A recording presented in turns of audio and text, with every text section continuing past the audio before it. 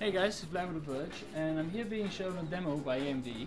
I'm doing the very hard task of playing this game. It's uh, 900 by 1200 resolution, playing in full screen, frame rates are looking pretty great, but uh, this is only part of the workload, and we've got Andy over here from AMD who's going to tell us what else this computer is doing right now. Yeah, so a couple things going on here. So like Vlad said, we're playing Dirt 3 at a pretty good frame rate here. Um, uh, 19 by 10 full HD. And you can see in this middle monitor over here, we're actually encoding 720p video. Uh, now these are normally two tasks, two tasks going on at the same time. You figure it's a uh, desktop level workload. It's all coming out of this box, but actually, what's going on inside this box? This is all running off of a notebook, and this is the 2012 APU platform uh, known as Trinity.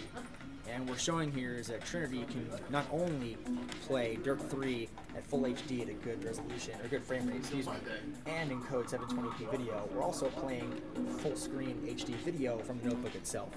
Now, this is all being driven from this notebook, and as you can see, I'll show you just to confirm this is actually one notebook. You'll see I'm dragging the mouse across the screen here, currently on the media converter screen. I can go in here and I can change the video at full screen see him on the trackpad, make in full screen go out, come back in and actually pause Vlad's game. Can you just make sure you have the position? Ah! Do you have position? I'm, I'm first.